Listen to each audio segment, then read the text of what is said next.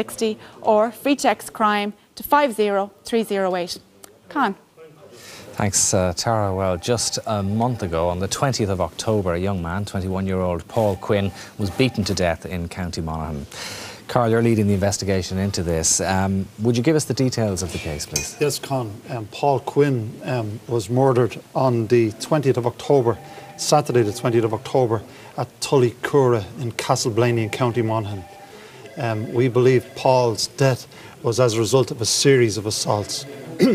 Firstly, tonight, Con, I would like to appeal to the people of Tullycura and indeed the surrounding townlands, um, or indeed to anybody who may have been visiting the Tullycura area on the day, um, if they have any information in relation to this crime, to contact us, or indeed if they have any information with regards to anything they may have seen on that Saturday, uh, to contact us with that detail. Now, I know you've been working closely with the PSNI on this.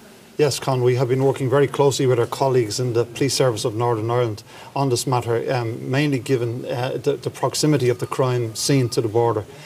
Um, I would like tonight, however, to appeal to the uh, community of South Armagh and indeed to the community of Tullycura, um, from where the Paul, from where Paul's family hail. Um, I would like to appeal to that community to come forward to us with any information that they may have in relation to this dreadful crime. Um, this was a violent crime against a young man, um, but one could also say it was a crime against the community. And I strongly believe, Con, that with the help of this community, we can solve this crime. It's a murder that's generated a lot of coverage in the press and a degree of political controversy as well. Yes, um, I would have to say, Con, that is not my concern.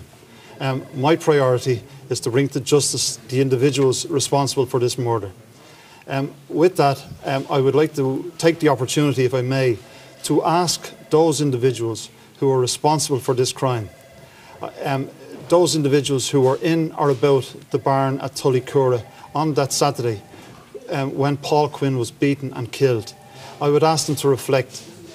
I would ask them to reflect on the day. I would ask them to reflect on the events that they witnessed and, and I would also ask them to reflect on the fact that, that, that a young man has lost his life here. And just to recap again, it was Saturday, the 20th of October. So anybody in that area who may have seen anything a little bit yes. unusual, you uh, anybody, and indeed those individuals, uh, as, uh, as I was mentioning, who, who, who were responsible for the crime, I would ask them, I would urge them to contact An Garda Síochána. Um, and, and finally, I, I would urge anybody with information. Uh, we are receiving excellent cooperation from the community on both sides of the border, but I would urge anybody with information to please contact An Garda Síochána or indeed the Police Service of Northern Ireland. OK, Carl, thanks uh, very much indeed. Now, as usual, you have been phoning and texting us with information